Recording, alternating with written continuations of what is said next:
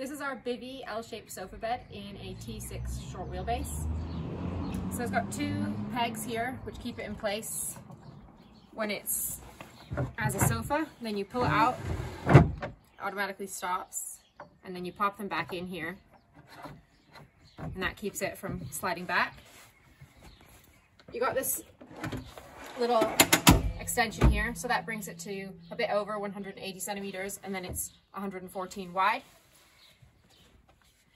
Then you got this spit, which pops on here. And then this is your table, which you can use as an L-shaped, when you're in the L-shaped seating, and that forms part of your bed. Just goes into those grooves there.